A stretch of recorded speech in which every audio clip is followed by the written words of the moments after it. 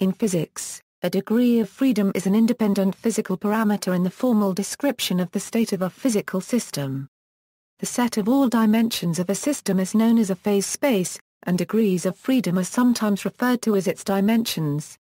Definition A degree of freedom of a physical system is an independent parameter that is necessary to characterize the state of a physical system. In general, a degree of freedom may be any useful property that is not dependent on other variables. The location of a particle in three-dimensional space requires three position coordinates. Similarly, the direction and speed at which a particle moves can be described in terms of three velocity components, each in reference to the three dimensions of space. If the time evolution of a system is deterministic, where the state at one instant uniquely determines its past and future position and velocity as a function of time, such a system has six degrees of freedom. If the motion of the particle is constrained to a lower number of dimensions, for example, the particle must move along a wire or on a fixed surface, then the system has fewer than six degrees of freedom. On the other hand, a system with an extended object that can rotate or vibrate can have more than six degrees of freedom.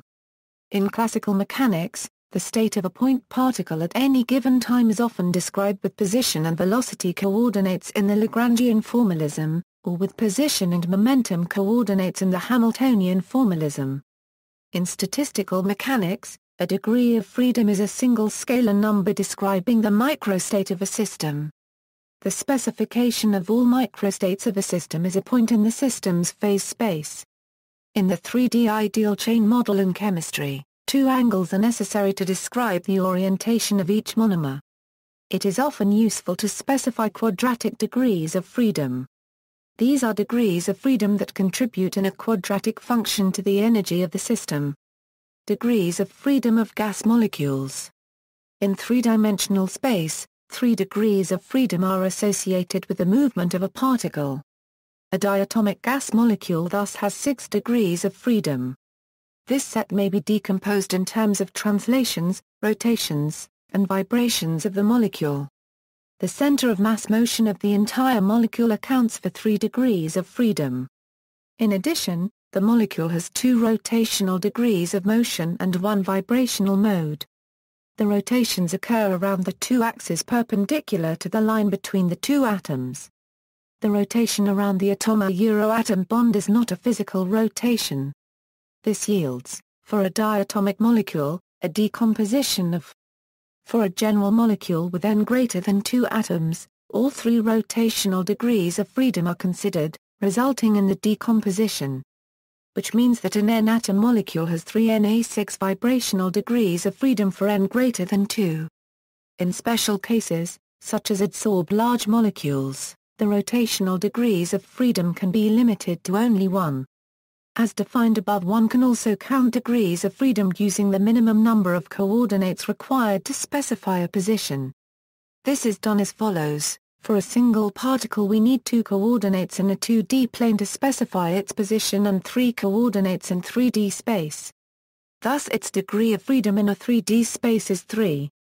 For a body consisting of two particles in a 3D space with constant distance between them we can show its degrees of freedom to be 5.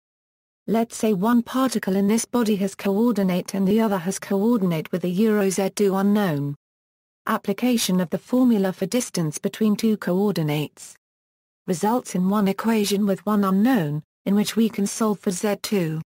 1 of x1, x2, y1, y2, z1, or Z2 can be unknown. Contrary to the classical equipartition theorem, at room temperature, the vibrational motion of molecules typically makes negligible contributions to the heat capacity. This is because these degrees of freedom are frozen because the spacing between the energy eigenvalues exceeds the energy corresponding to ambient temperatures. In the following table such degrees of freedom are disregarded because of their low effect on total energy. However, at very high temperatures they cannot be neglected. Independent degrees of freedom, the set of degrees of freedom x1, a euro. A euro, a euro xn of a system is independent if the energy associated with the set can be written in the following form. Where i is a function of the sole variables i, example, if x1 and x2 are two degrees of freedom, and E is the associated energy. If, then the two degrees of freedom are independent. If, then the two degrees of freedom are not independent. The term involving the product of x1 and x2 is a coupling term, that describes an interaction between the two degrees of freedom. For i from 1 to n, the value of the ith degree of freedom xi is distributed according to the Boltzmann distribution.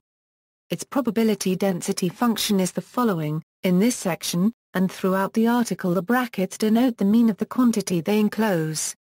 The internal energy of the system is the sum of the average energies associated with each of the degrees of freedom. Quadratic degrees of freedom A degree of freedom xi is quadratic if the energy terms associated with this degree of freedom can be written as, where y is a linear combination of other quadratic degrees of freedom. Example, if x1 and x2 are two degrees of freedom, and E is the associated energy. If, then the two degrees of freedom are not independent and non-quadratic. If, then the two degrees of freedom are independent and non-quadratic.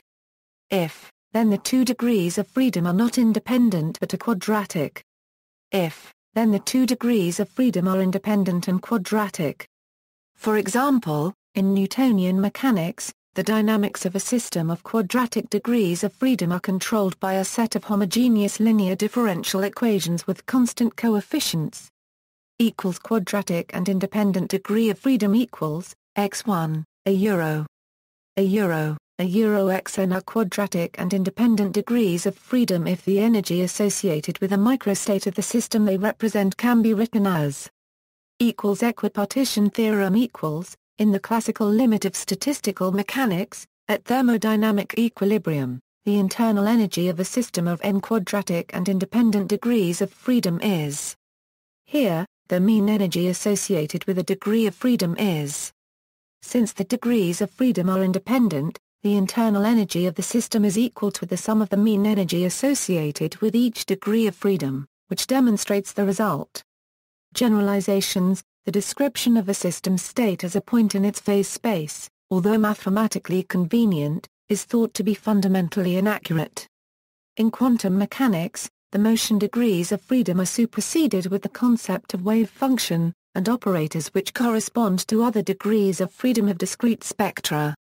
For example, intrinsic angular momentum operator for an electron or photon have only two eigenvalues. This discreteness becomes apparent when action has an order of magnitude of the Planck constant, and individual degrees of freedom can be distinguished. References